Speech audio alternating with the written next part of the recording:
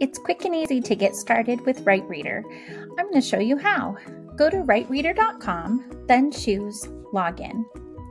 You could also go right to app.writereader.com.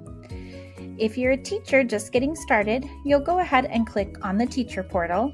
To sign up for a new account, click this tab. You can sign up for an account using your email or sign up with a Google account.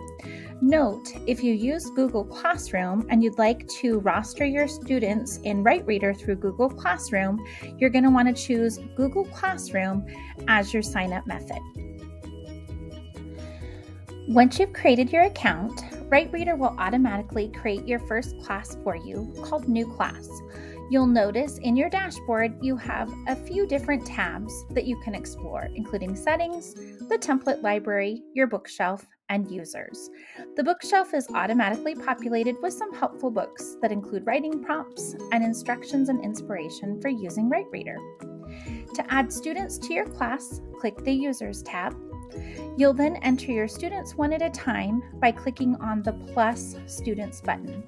We recommend using the student's first name and maybe some random numbers. You want to be sure that the username is unique to avoid students logging into each other's accounts. So for instance, I might put um, a student's first name and then a few numbers at the end. You can also enter the student's first and last name, but the only required field is the username.